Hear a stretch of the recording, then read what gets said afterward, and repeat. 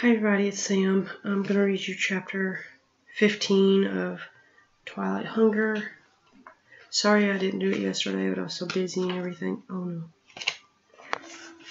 Chapter 15 Morgan walked wryly down the curving wooden staircase hidden beneath her floorboards, placing her feet slowly, cautiously, shifting her weight gradually. The stairs groaned in protest as if they could give way at some at any moment, but they didn't, and she managed to make her way to the bottom. She found herself in a dark, dank, dark room, basement, one that didn't exist, according to every record on the place. God knew she had gone over blueprints and plans and age-old titles during the remodeling she tried her damnedest to restore the house to its original appearance. She had learned the colors of the decor in several of the rooms there had been a sketch of the chandelier and an aging photo of the gardens in back, but nowhere had there been mention of a cellar. In fact, the lack of one was mentioned more than once in those documents, almost apologetically, as if it were an inexcusable oversight on the part of the builder, the builder Daniel Taylor. Daniel Taylor is one of many aliases the vampire Dante has used. All hell. Taking a breath of still air that had never seen sunlight, Morgan flicked her flashlight on, moved its beam around. Wooden beams crossed the low ceiling above her head. The walls were built of flat stones piled on top of each other. She didn't know how the hell they stayed upright. An arching opening stood at the far end of the smallish room, and she went toward it, shining her light. No spider webs. She found it odd that there were no spider webs sticking to her face as she tiptoed, barely breathing, over the dirt floor. She moved closer and finally stepped through the archway into the smaller, even darker room, this one made of concrete. The beam of her light arched around it to the left, falling on a small table, a kerosene lantern, a book of matches. She could smell the fuel. The lantern's globe was clean. Blinking, she made her way to the lantern and then, according, anchoring, anchoring her flashlight under one arm to keep its beam where she wanted it. She found the lever that lifted the lantern's globe, struck a match, and touched it to the wick. As she lowered the globe into place and adjusted the flame, soft yellow light filled the room. It was such an incredible relief to have more helpful source of light that she sighed as she turned to see what the place looked like now that she could see. On the far side of the room, on a platform that kept it raised off the floor, was a box made of time-dulled wood, so dark it seemed black with tarnished silver handles on the sides. She stood there staring at it, her mind refusing to process the information. Her eyes were sending for the drawn out spaces between her two heartbeats. Then her mind whispered the truth to her. A coffin, and a scream ran in terror from her th- lungs, bouncing off the walls and diving back into her own ears to hide. She bit her lip to, to silence herself and fought to catch her breath as her heart galloped, the coffin's lid was closed. It looked old. How long had this been thing been down here? God, what was inside? Her mind wanted to know. It told her body to move closer, touch the wood, open the lid, didn't see. Him, Dante. The rest of her wanted to run. Every cell, every muscle tingled and twitched with the urge to turn and flee from this place, but her body refused to do either. Her legs were trembling so hard she could barely stand on them. Stress tended to do her in as quickly as physical overexertion, and today she had experienced both in levels beyond what she had been capable of withstanding for over a year now. It's not real. This is another of those vivid dreams, that's all. But no, in her dreams she was always strong, vital, bursting with energy, and she never felt fear. In the dreams he loved her. God, how God could the scarred man have been right? Could those journals be real? Could her Dante be lying right here in this casket perfectly preserved, immortal and dead? Maybe not, she muttered. Maybe Maybe he just had himself secretly buried here. Maybe that's all this is. The hundred year old rotting corpse of a wealthy, eccentric lunatic is probably all that's in that box. Just bones by now, that's all. And when she saw it, when she saw the proof that Dante had been an ordinary man, with a vivid imagination and a gift for writing, maybe that would be enough to break the spell he had cast on her. Maybe she could free herself from of the sticky web her own obsession had spun to entrap her. Catching her breath, she forced her feet to move closer, one step, then another.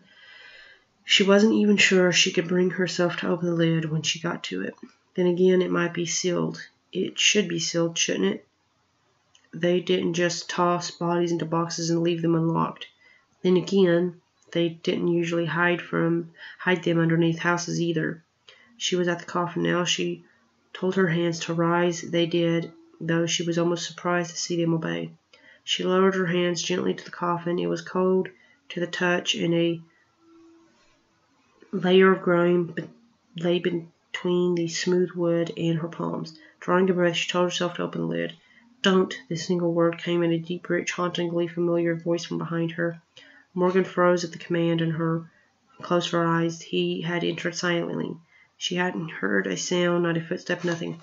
Let it be, Morgan. There's nothing in there that you need to see. Eyes still closed, she whispered, Dante. I. The voice hesitated, and Morgan opened her eyes and knew that his next words would be lies. She knew it was. She knew it as surely as if she were the one about to speak them, making them up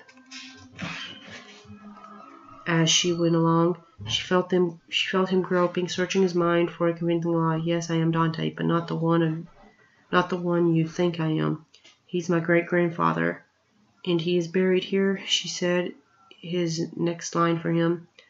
It was his last wish. She nodded. And why are you here? To see you, he paused, breath breathed, and she felt him searching and spinning. That film of yours is so like the old man's delusions that when I learned you were living in the house he had built. I knew you had learned of his fantas- fantasies somehow and used them to create the script.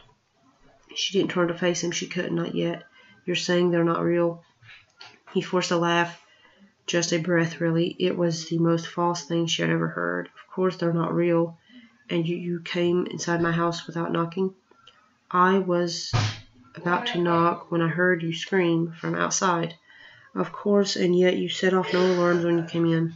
He didn't speak. Morgan swallowed, and in one swift act of will she pushed on upward on the lid. The coffin lay empty, white satin lining beginning to yellow with age. The lid stayed up when she let go and turned slowly to look at the face of her fantasy lover for the first time. He stood there, dressed in black trousers and a black black silk shirt buttoned all the way to the collar, no jacket, no tie.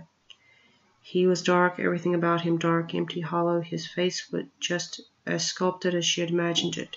The hollows of his cheeks, the endless deep wells of his ebony eyes. He took her breath away because she loved him, because she was bound to him in ways she didn't even understand, because he was so exactly as she had known he would be, familiar, beloved, he was hers. You're real, she whispered.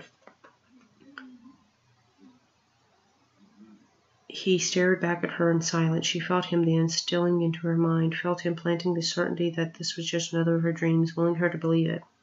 She opened her eyes wide, shook her head. Stop it. You're not a dream. I won't believe you are.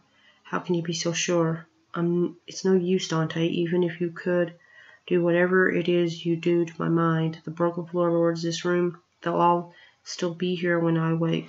Even you couldn't make it all go away in time before sunrise. He studied her, he studied her, her eyes probing and narrow. You're either very brave or very foolish, Morgan. Don't you know how angry you made me? I should kill you for what you have done. Then do it. She saw she saw the shock ripple through him. She didn't let it stop her. Her hands went to the high collar of her nightgown and she ripped it open, popping buttons all the way to her waist. She tipped her head back, closed her eyes. Do it, Dante. Her pulse beat in reaction to the touch of his eyes on her throat. She felt him shiver, felt her own heat rise. She wanted something she couldn't name, as little sense as it made. She knew she was dying anyway, and soon, judging by her symptoms of late, if she had to die, why not in the way he had described so erotically in his journals, the way she had experienced so vividly, if only slightly? Why couldn't she die in utter ecstasy as her essence flowed into him? And suddenly he was there, his arms tight around her, pulling her body hard against his as he bent over her. His mouth closed on her throat and she whispered yes. He bit down without breaking through and suckled her skin. She arched her hips against him, felt the arousal press it, pressing back. Morgan had never felt su such fire burn in her body as she did then. Her hands tingled, tangled in his hair as she twisted and writhed in his powerful arms, pressing her body closer, arching her throat to his hungry mouth. She felt his lips warm and wet on her skin, his tongue stroking and tasting, the delicious pinch of his teeth biting down just a little. And then suddenly he wrenched himself away from her so violently that she, that she stumbled and fell to the packed earth floor. Breathless, she remained there, knees bent awkward, arms braced on the floor behind her as she stared at him, his at his eyes gleaming now with an odd luminescence that didn't seem to come from the glow of the kerosene lamp, Uh, his face drawn tight in some kind of unnamed anguish. You have no idea what the hell you're playing with, Morgan, he said, his voice stern and coarse and steady. I know, she said. Her word came life less forcefully than she would have liked. Her chest moved rapidly as she fought for the breath in between. I know you better than anyone ever has, Dante, or ever will. He went very still, his eyes narrowing on her. How? She closed her eyes, let her head fall backward, then her arms bent, and she was lying on the floor. God, she was so weak suddenly. It was all too much. He swore softly and bent to gather her up on, into his arms. He carried her out of the place, up the rickety stairs, and managed to get up through the jagged hole in the floor. Are you hurt? He asked the question almost reluctantly as he, as he took her through the house, obviously knowing his way around. No, but you are ill, he said unnecessarily. She nodded, resting her head against his chest. You're changing the subject, am I? They were in the hall now. They were where he turned and carried her unerringly to her bedroom, to the bed. Then he lowered her onto it, but when he would have straight, straightened away, she locked her arms around his neck and held on. You want to know how I know the truth? How I know about you? Leaning over her, one knee on the bed, his face only inches from hers, he nodded. I have to know. Then make love to me, Dante, and I'll tell you. His eyes flared hotter as he stared into hers. I cannot do that, Morgan. You are too weak. Not for that. Never for that. She lifted her head from the pillows, using them as leverage, he, and pressed her lips to his. Please, groaning softly, he returned the kiss, folding his arms beneath her and lifting her upper body to his chest. His tongue traced her lips, and when she parted them, slipped inside to taste her. Her his breaths came harder, faster, and he slid his mouth from hers to her to trace her jawline down her to her neck and kiss her there, where had he had before. Let her go. Let her fall. I can't. You have before. You have. I know it was real. It wasn't a dream. Damn it, Dante. You've been with me night after night. It wasn't real. It was in your mind, in my mind. It wasn't real. Then make it real. His muscles were so tense. He was shaking and his jaw was rigid. Then he glanced toward the window and she followed his gaze and realized that dawn was at hand. Tell no one what you have seen tonight. I swear to you, Morgan, if you breathe a word, you will die. Do you understand? I have no choice in the matter. Do you really think I would betray you? My God, Dante, I would never. You already have. She blinked and realized he was referring to the film. It's not the way you think it is. You've told my secrets to the world, Morgan. Some of my dearest friends have died because of what you have revealed about me and my kind in your films. I am being hunted because of you. My every step hounded by the man you met earlier tonight. She felt her eyes widen. I didn't know. I never would have told your stories, Dante, if I'd known they were real. You have to believe that. He got his heels, went to the window. I have to leave. He surged from the bed, weak, nearly exhausted, and clutched at the back of his shirt. Then come back, Dante. Promise you'll come back. Come to me tonight. Tell you everything, I swear. He glanced back at her, or maybe you have or maybe you'll have the scarred man here waiting when I arrive. I would I would let him kill me first. She dropped to her knees, suddenly too weak to stand, her head falling forward. She drew a shallow breath. I would die, Dante, before I would betray you. It was a string of words floating on a breath of mere exhaustion. Not even a whisper. Words I've heard before, Morgan. Dante knelt, clutched her shoulders, lifted her chin to her face, to search her face. When then he folded her to his chest, held her there with one hand, and took something from his pocket with one hand, pocket with the other. She saw it shine as it flicked open. A small pointed blade, like a leather punch. He drew it to his own throat and jabbed it in, grunting in pain as he did. Morgan gasped, her eyes fixed on his cord corded neck as he drew the blade away and a scarlet strand of blood unwound from the puncture wound drawn over his skin. She licked her lips. The scent of it touched her nostrils, and a feral lust twisted in her gut. His hand was on her hair, at the back of her head, pulling her closer, but she didn't need it. She knew what she needed. She buried her face in the crook of his neck, closed her mouth over the wound, and sucked the blood from his body. She drew on the opening, her tongue darting to catch any droplets that escaped her hungry lips. She lapped at him there until he pulled her away, pressing one hand to the wound in his throat. For one insane moment she fought him, pressing closer, clawing at his hands, trying to steal more of this drug she craved. She could have ripped his throat open with her own teeth in that moment like a wolf. She would have killed him. He held her off easily enough but when she looked into his face, she saw the same bared teeth, the same breathless hunger, the same feral gleam lit his eyes. My God, he wanted to devour her in exactly the same way, like an animal, like a predator. He flung her toward the bed, lunged out into the balcony, and vanished over the over the side. Morgan lay where she had landed, half on the bed, half off, panting. Her body was alive, tingling, her heart beating loudly and strongly. She didn't feel weak any more. She felt alive, more alive than she had in years. Then she realized must be a glimmer of what it felt like to be to be what Dante was, to be a vampire. She wanted it suddenly. She wanted it with everything in her. She wanted to be a vampire, and she wondered if she would be now, if drinking his blood would make her what he was. Dante made his way to the house Seraphina had told him about. With all due haste he found her there pacing, waiting for him, but he only muttered a tear's greeting before moving past her into the basement. She had tossed some blankets onto a pair of crates to make do. She was on his heels instantly, of course. Where have you been? What kept you, Dante? Jesus, is that your blood I smell? A minor accident. There's no such thing. She gripped his shoulders to stop him, but he kept moving away. Climbing the box, she prepared for him, pulling the lid over himself. She caught the lid in her hands to prevent him from covering himself fully, and ranted on. You know, ex- you know how easily we can bleed out, Dante. What the hell happened to make you so careless? I had a run-in with our scar-faced vampire hunter, he told her.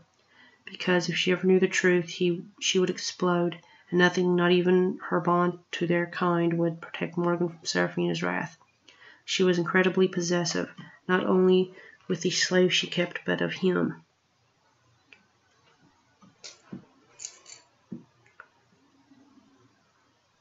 Um, I kind of lost my place in a minute.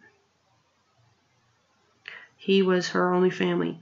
That meant a great deal to Seraphina. The scarred man, he's in town? Yes, so be careful. Dante gave the cover another tug. The sooner I sleep, the sooner the rejuvenation process can heal my wound, Fina. Sighing, obviously filled with, still filled with questions, Seraphina secured the lid over him. He found the latches that had been affixed to a hook from the inside and he hooked them. Then he listened while Seraphina made her bedtime preparations and climbed into her own box. He lay there very still, closed his eyes, waiting. Sleep It was a long time in coming, though. Even when it did finally sweep over him, he couldn't stop the images from playing through his mind. Images of him and Morgan, naked, naked, intertwined, his body buried into the hilt in hers, his teeth sinking into her into her flesh, her body, her blood flowing into his body. God, he wanted her. He wanted to possess every part of her, her soul, her flesh, her blood. And he knew it would be worse now. She had drunk from him not once but twice. He had tasted her, and he knew damned well that he would do it again if he wasn't careful. He, if he made love to her, he would drink from her, drain her maybe. He wouldn't be able to stop himself, and in her weakened state, he would kill her. He would kill her. God, he didn't want to kill Morgan De Silva. He wanted, he wanted to love her. Too bad he was incapable of loving anyone at all. Chapter 16 Maxine and Lou were sitting in the hospital waiting room where they'd been sitting for the past four hours. It was daylight now. Stormy's parents had been notified and finally taken into a private room to await word. None had come. None whatsoever. It was the cruelest form of torture Lou could think of.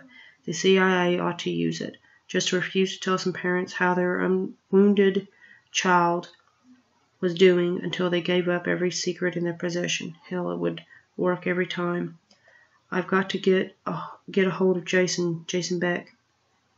Maxine, Max said he would want to know. Lou didn't like seeing his normally spunky Max this way. She was pale and shaken, like someone had hit her smack between the eyes with a freaking two by four. And no wonder. He remembered the kid she referred to. He had been the third part of their incredible trio all through high school and college. Do you know where to find him? She shook her head slowly, stayed for a long time, then finally she spoke again. It's probably just as well, she said, and it took Lou a moment to realize she was still talking about Jason Beck. He wondered vaguely how she managed to lose touch with someone she had been so close to, but time passed. Crap happens. Why did you why do you say that? Come on, Lou, you know what this is all what this is about as well as I do. They found out what I told you what I knew about DPI. He averted his eyes. It's the only thing that makes sense. They killed Stormy and frame you. It's a message to me, a lesson for me. It serves to make sure I won't ever tell anyone else. They destroyed two people I lo- care about, just like that Stiles guy told me he would. The question is, how does he know I told you? Lou licked his lips, lifted his gaze to her slowly. I made a call last night. She went very still, didn't say anything. I just stared, just stared at him, begging him with her eyes not to tell her what she had known he was going to tell her. To the friend of mine who work works for the CIA, I asked him to find out what he could about DPI. I told him I suspected that they'd been running some kind of covert op out of White Plains until the HQ burned five years ago. I didn't mention you or the man you saw. You didn't have to, she swallowed hard. I asked you not to talk to anyone, Lou. How could you do this to me? Hey, Max, come on. I had no reason to think it would be result in anything like this. No reason. You had one reason. You had my word. I told you they threatened my friends and my mother, and you went right ahead and she stopped there. Oh God, oh God, my mother. She was on her feet and heading for a payphone before Lou could stop her. He leaned back in his vinyl seat, pushed a hand through his hair. She was right. She was dead right. If it had been another cop asking him to keep quiet about something like this, he would have taken them at their word and done it. But he'd underestimated Max. Mad Maxie, the conspiracy theorist, always sensing seeing trouble where there wasn't any. Well, hell, maybe for once she wasn't so far off base. There was a dull ping. The elevator door off the off to the left side slid open, and Lydia came hurrying from them, eyes wide. What happened, Lou? Are you okay? Where's Max? God, is it Max? No, no, she's fine. I'm fine. Was he was on his feet and met Lydia halfway, hugged her and good and hard. I woke up this morning and no one was at Max's, so I called your place and got some cop who told me I could find you both at the hospital. Jesus, Lou, I'm scared half out of my mind. She looked it, he thought, stepping back a little. Her hair was a mess, no makeup. She looked her age for a change, which was kind of refreshing, but totally unlike her. Then she lost interest in him completely when she saw Max coming up, coming back from the payphone. Lydia walked up to the kid and hugged her as if they'd been friends for a long, long time instead of only a few days. Honey, you look like hell. I feel it. How's your mother, Max? Lou asked. Fine. Maybe she's safe down there. Maybe they don't know where she is, or maybe they don't have the manpower to be down there and up here at the same time. Or maybe there's only the one man I, the one I saw. Maybe he's, maybe it's just him working alone. She pushed a hand through her head, through her hair. Sorry. God, I don't even know what we're dealing with here. I don't know who to be more afraid of, the vampires or the vampire hunters. Lydia let her go and stepped back staring at her. Lou looked up and down the hall to be sure that the remark hadn't been overheard. Keep it down, will you? Someone will show up waving a one-way ticket to the mental ward with your name on it if you keep this up. She glared at him. Will someone please tell me what's happened? It's my friend Stormy, my parents, my partner in the business. She was found at Lou's place with a bullet in her head. They left her for dead, but she wasn't quite. They trashed Lou's place and they used his gun. They tried to set it up to look like he'd done it. My God, her gaze shot to Lou's, but then she turned it in inward. Wait a minute, Stormy. There was a message on your machine from someone named Stormy this morning when I got up. I saw the light, thought it might have been something from from you letting me know where you were, so I played it. I never looked at the machine when I got in last night. Max gripped Lydia's hand. What did she, what did she say? Glancing around her, Lydia lowered her voice. She said she had a, an odd call from Lou asking her to come to his place, that she wanted to let you know in case he was in trouble. She sounded funny. He gave her head a shake. I think that was all. But it but it's still on your on the tape in your machine. That machine records the minute the call comes in. Do you remember what it was? Around 9 p.m. Lydia said. She nodded. It wasn't Lou. Lou was with me seeing a movie and then sitting outside watching my place. Someone called her, lured her over there, and met her at the door with a 222. Thank God it was a 22, Lou put in. Anything bigger would have killed her. But why? Why would anyone want to do that? Lydia baffled. It has to do with Max bro broke off as a doctor finally emerged from the room where Stormy was being treated. At the same moment, a nurse came from the private waiting room with Stormy's parents behind her. Everyone crowded together in the center of the waiting area. She's alive, the doctor said, but she's in a coma. Stormy's father, a blond man who whose normally healthy tan seemed to have turned it to gray, lifted his head, met the doctor's eyes. Is she brain dead, doctor? Just tell us the truth. No, she has brain wave activity. It's minimal, but it's there. How long will she be in the coma? Max asked, Max asked, stepping forward, clasping Mrs. Jones' hand. I mean, a day, a week. We have no way of knowing when or even if she'll come out of the coma, the doctor said. But as long as she has brainwave acti activity, there's hope. They all waited for him to say more. Lou knew what they wanted to hear, exactly how much hope, exactly what are the chances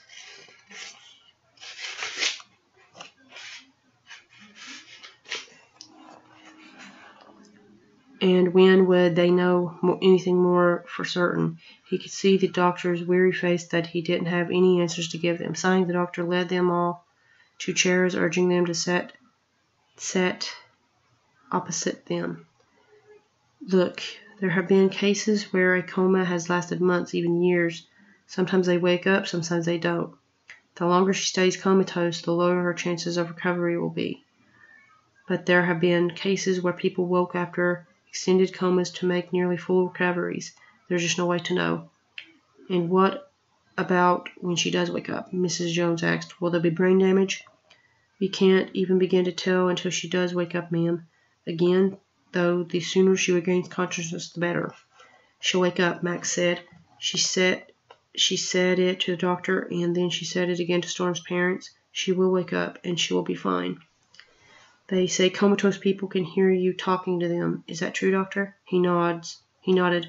In some cases, I've seen reactions in the EEG readouts when loved ones speak to comatose patients.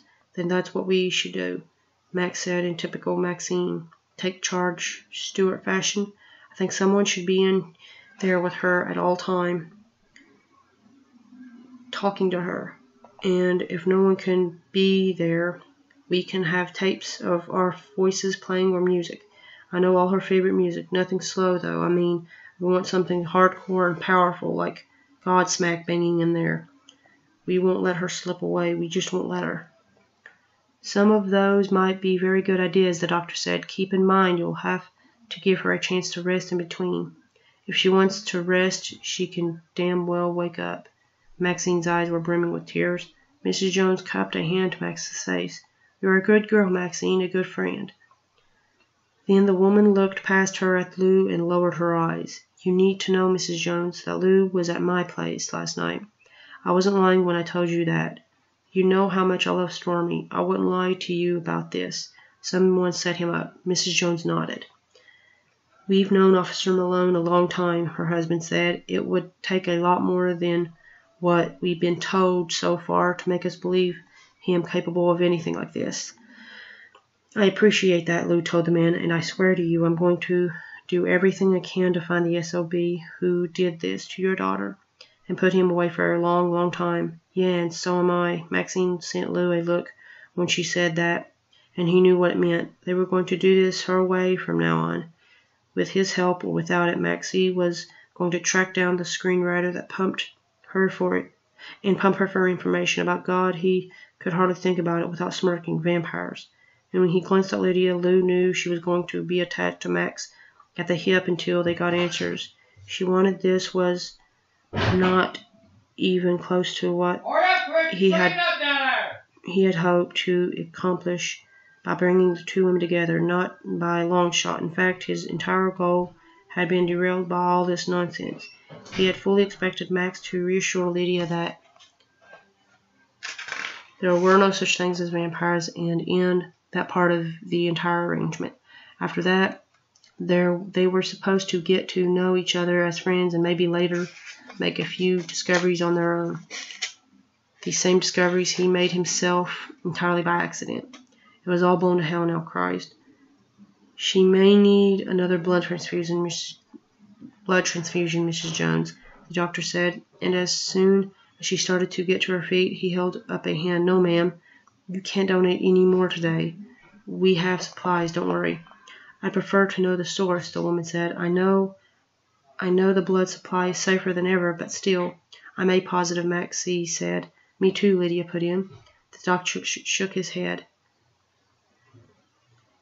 No, not what we need for her, though. You are welcome to donate anyway. Anyone for A negative? Lou raised his hand like a school kid. You're elected. The doctor sent Lou off with a nurse, and he thought it pretty ironic that he was entering the notion that vampires might be real even as he let some pretty young thing drain a, drain a pint from his veins.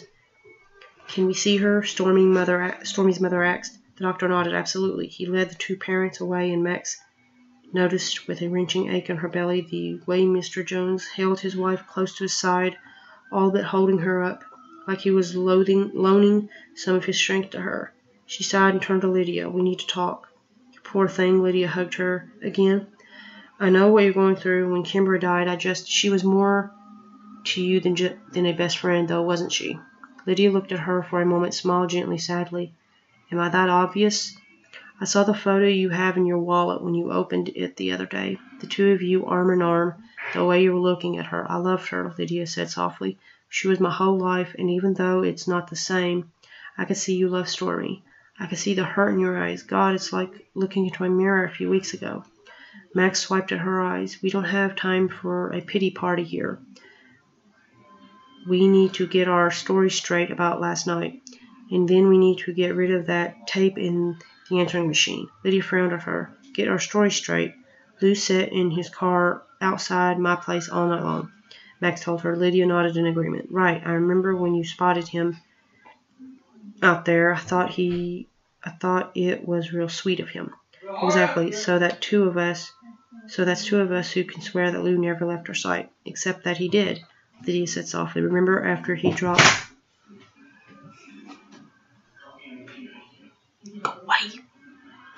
Go away. Ah, what you doing?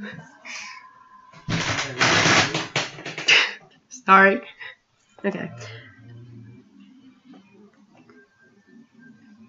Um, drop you? Drop? He dropped you. He took off for a while. He was back in no time. But yeah, and the darn damn fool told them so. Max licked his her lips. I had to think fast, so I said that when Lou left, I followed him. Made up some line about suspecting he was seeing some other woman and being jealous. I confirmed what he told them, that he had gone to the station and had come straight back to my place. Lydia nodded slowly. I didn't know you and Lou were. We aren't. So you lied to the police? I know he didn't do this. You know it too. Lydia turned away, drew a deep breath, finally blew it out with a sigh. Of course I know it. She turned to face Max again. I was there, after all, when you left to go follow him. I tried to tell you Lou was a one woman man, but you just had to make sure. Max bit her lip. You could have been sleeping upstairs. You could have no knowledge one way or the other. Two witnesses are better than one, especially if they think that one is the suspect's lover, Maxine. Max nodded. Thank you. No need. I like Lou. We've been friends a long time. He doesn't know I made it up. He would never let me do it. Understood, Lydia said. You mentioned the answering machine. Yeah, we need to, we need to erase the message. Then she shook her head. But there might be a clue in it. I should find a way to keep a copy. We could just put it in a new tape, Lydia suggested. It's not on tape. It stores the messages electronically. But a new machine, buy a new machine, Lydia said. Take the old one and stash it somewhere safe. Maxie nodded, Max nodded slowly. It's a good plan. Later I can transfer the message to tape and destroy the machine just for good measure. But for now, the fastest solution and we have to get it done before they, they decide to search my place. I'll take care of it. Stay here. See your friend. Max nodded. Use cash and buy it someplace busy like Walmart where they won't remember you and don't make your appearance too memorable. Mm, biting her lip, Lydia frowned hard at her. Just what are we dealing with here, hun? The government, a part of the CIA, I think. A secret part that might not even exist anymore, but the man who shot Stormy was part of it. Lydia nodded slowly. You called them vampire hunters. That's exactly what they are. Maybe still are, she sighed. Look, I'll tell you everything I know, but you can't mention it to a soul. That's what got Stormy shot. Okay, understood, but not now. This isn't the time or the place. I'll go take care of that machine of yours and we'll talk later. May I may as well meet up at the police station, Max said. They're going to want sworn statements from all of us. Noon, Lydia said. Noon's good. See you then. After Lydia left, Max waited around till Lou finally returned from donating blood with a bandage on his arm. He looked at her as if checking her over, like he was searching for signs as to how she was holding up. And while her independent woman side thought it was hopelessly old-fashioned of him, the rest of her loved it that he worried. I'm okay, she told him before he bothered to ask. No, you're not. But I don't see how you could be. He looked around. Where's Lydia? Had some things to do. She's going to meet us at the station at noon so we can give them our statements. And then what? She shrugged. I'm going home. I'm going to go home, make some tapes of my voice for Stormy's mom to play for her gather up a few CDs in my programmable player and get it all set up her, in her room. Then I'm going to pack.